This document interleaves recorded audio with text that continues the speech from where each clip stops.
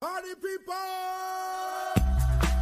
If you can't go to Bella Noches, where the hell can you go? And now for your host, Mickey Mouse. Oh boy, welcome to the hottest night in town, Queen of the Ratchet's birthday. Let's throw some shade and turn the fuck up. As head bitch in charge, I would just like to say thank you to my followers. Tremaine, the only thing you're in charge of is that bald ass head of yours. You think you're cute, don't you, bitch?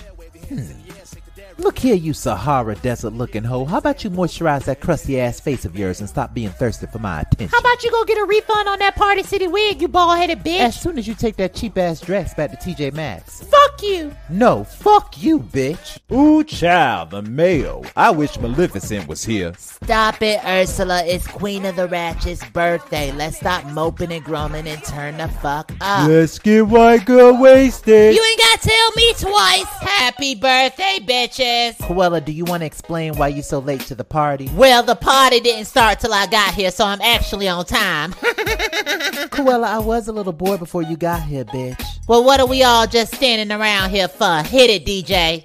One time for the birthday bitch. One time. Two times for the birthday bitch. Two times. Three times for the birthday bitch.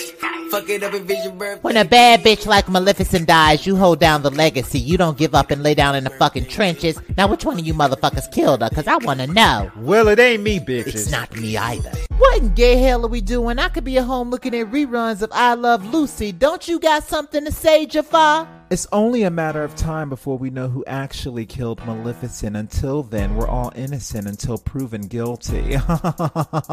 Gay clubs are so much better than straight clubs. Listen, nobody can find out about that sword in the stone, you understand?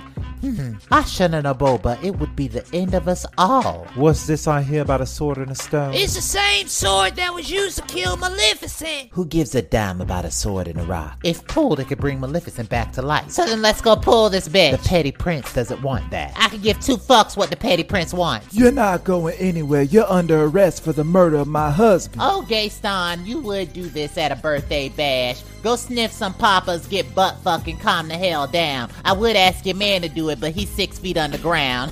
Guys, arrest Cruella now. I'm fucking petty and I will break free. Happy birthday to me. I will break free. I'm coming for that ass, Maleficent. Cruella's officially behind bars, but what about that sword in the stone? Let's make sure that bitch stays dead forever.